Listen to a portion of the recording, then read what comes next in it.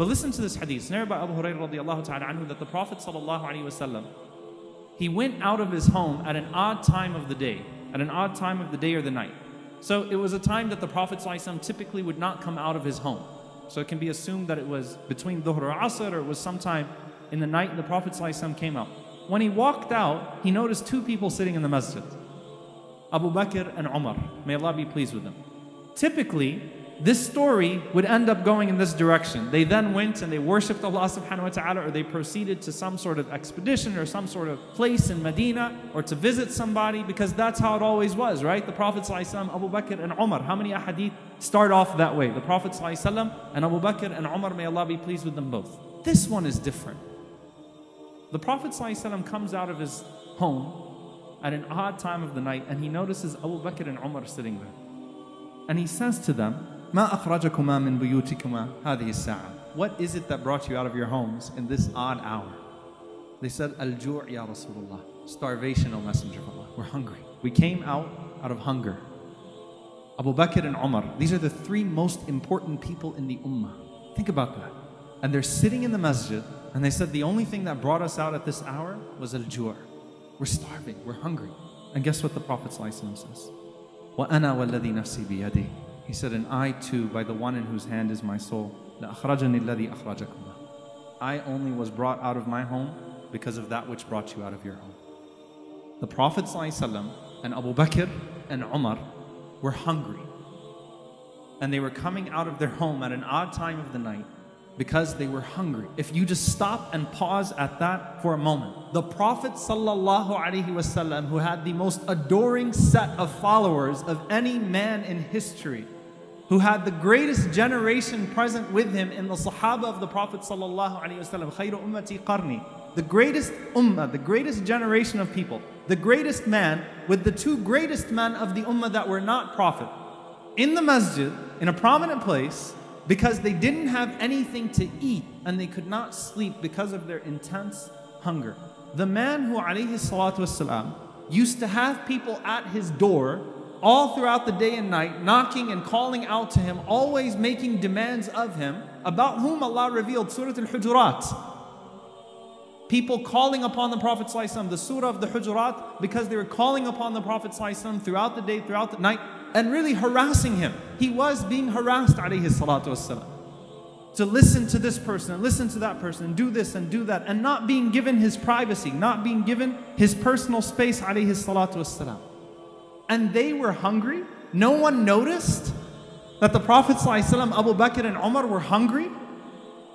And this is a reality, by the way, that we have to understand that usually caretakers are never cared for. It's a part of our human psyche.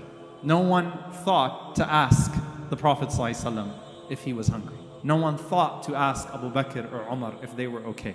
The Prophet ﷺ who used to go out and would, if he noticed hunger in your face, think of the narrator of the hadith, Abu Hurairah, who once the Prophet ﷺ just knew he was hungry by looking at him and took his hand and found him something to eat for the night.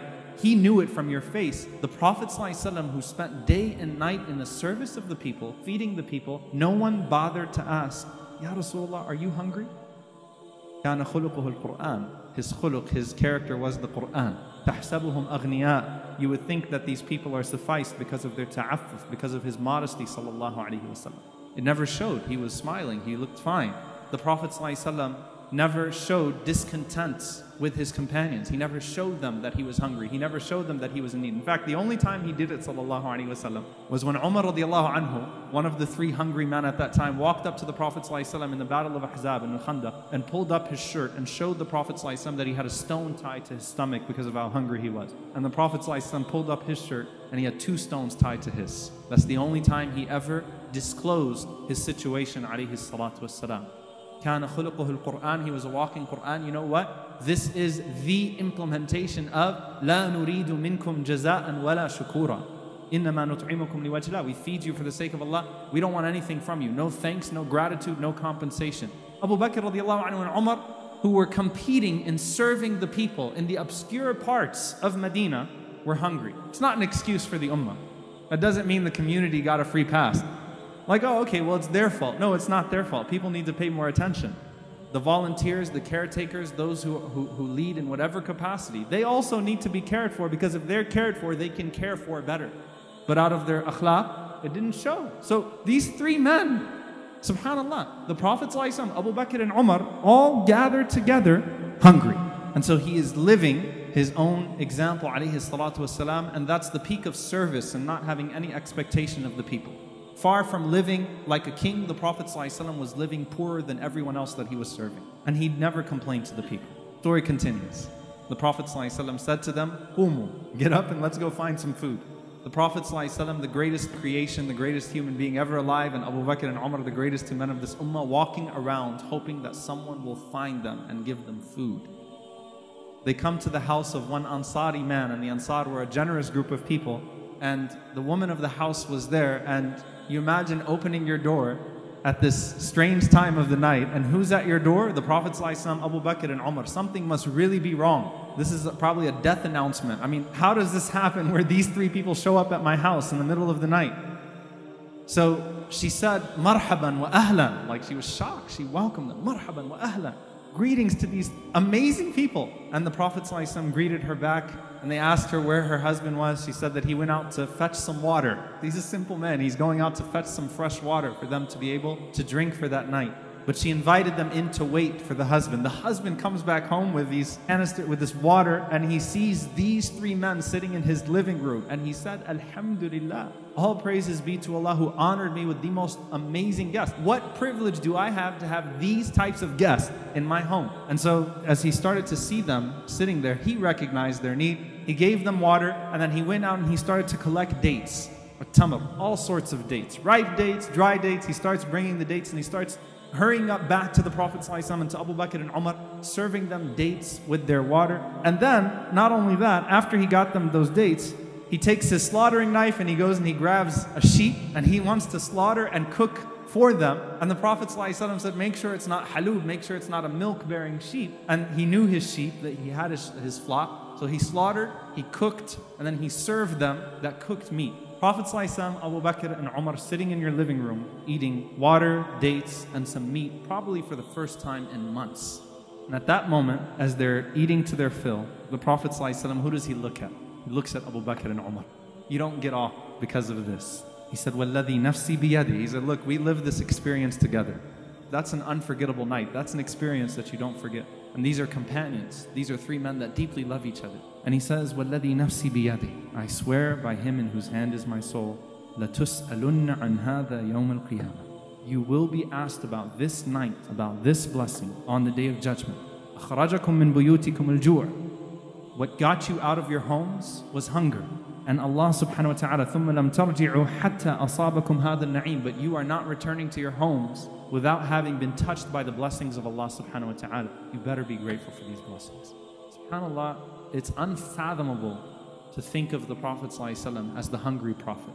You think of the brave prophet, you think of the courageous prophet, you think of the eloquent prophet, you think of this, but the hungry prophet والسلام, the orphan Prophet alayhi salatu wasalam, the grieving widower alayhi salatu wasalam, the grieving parent alayhi salatu wasalam, and here the hungry Prophet, the hungry Abu Bakr, the hungry Umar, who in their lowest moments, this is an experience, this isn't, the Prophet ﷺ would go hungry often, in their lowest moments are still being reminded to say Alhamdulillah because you will be asked about that blessing on the Day of Judgment. Now, to summarize, an attitude of gratitude here from the Shama'il of the Prophet, from his description, the Prophet was already expressing gratitude before that moment. He was expressing gratitude by not complaining of his situation and by still being a grateful servant to Allah subhanahu wa ta'ala even as that situation was taking place. So it's not until he it's not when he praised Allah after, it was his attitude before he got that na'im as well. From the attitude of the Prophet from the Shama'il of the Prophet ﷺ, as Aisha radiallahu anha said, he never found fault in anything that was given to him, and he never criticized any food that was served to him.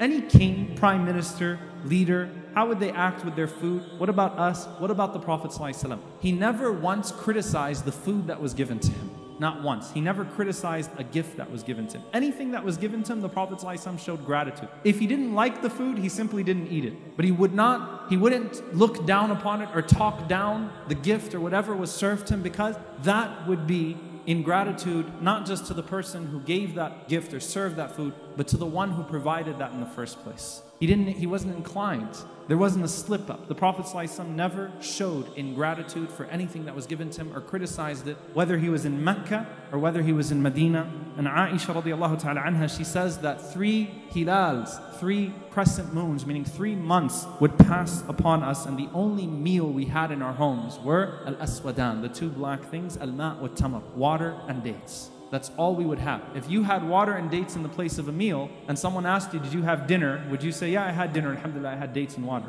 You wouldn't even say that. You wouldn't even call that a meal. That was the food of the Prophet ﷺ many times. Those were his meals. How do we get down to this? There's a practice. Allah challenges you and I. وَإِن تَعُدُّوا نِعْمَةَ اللَّهِ لَا تُحْصُوهَا If you were to count the blessings of Allah subhanahu wa ta'ala, you would not be able to do so. If you took one blessing Allah gave you and tried to count the blessings within that blessing, you would fail, I would fail to be able to fully count those blessings from Allah subhanahu wa ta'ala. Secondly, always find something good to say about your situation.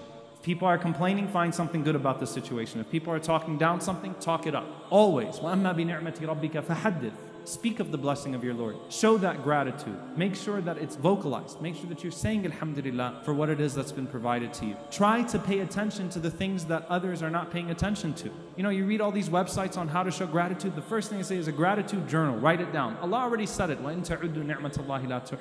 Count your blessings. Sufyan al-Thawri rahimahullah would make it a point to actually sit there and count the blessings of Allah subhanahu wa ta'ala. What can I be grateful for that I wasn't paying attention to today? Something that came very simple to me.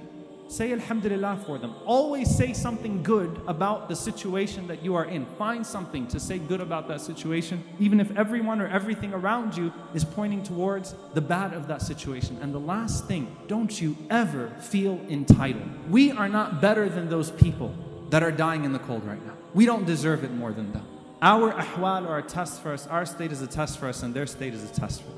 But no one deserved the blessings of this world like the Prophet ﷺ and Abu Bakr and Umar. May Allah be pleased with them. But they didn't feel entitled. It wasn't an entitlement. It wasn't the Prophet ﷺ saying, It's about time you recognized my hunger and that you did a better job.